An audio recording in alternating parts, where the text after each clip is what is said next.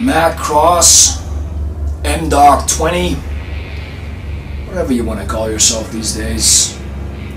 That was a very interesting video you sent the people of Germany, you sent to the people of GSW.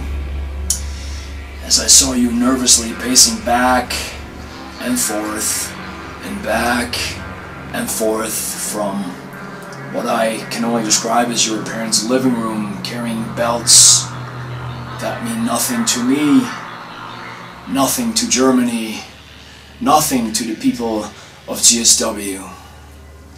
Your first mistake, Matt Cross, is saying that we've never faced off, meaning that you do not know who I am.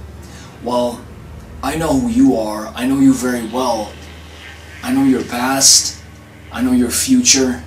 And whether you're friends or not with WWE superstars, you should be worrying about is that I know you. So that gives me an advantage, a huge advantage. Now, your second mistake is thinking that Christian Michael Jacoby has some sort of influence over me, that he has pull. No, no, no, no. You see, Christian Michael Jacoby came to me, came to my office, came to my people, because he understands that the people I work for are very thorough. They're very efficient.